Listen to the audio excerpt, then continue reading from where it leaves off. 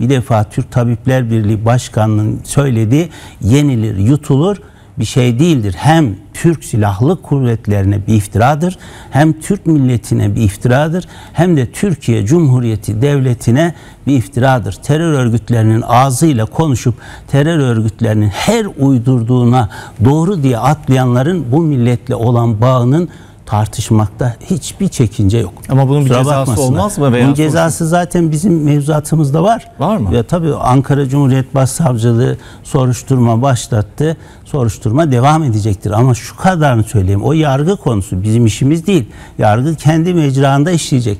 Ama ondan bağımsız olarak söylüyorum.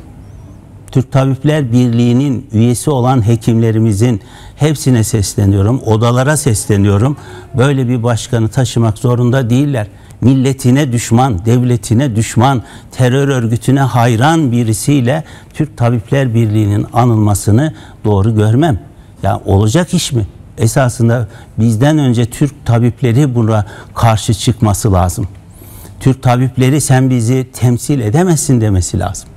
Ama maalesef sadece bu ilk değil yani bundan önce de Tabipler Birliği'nin başkanlığının açıklamaları var.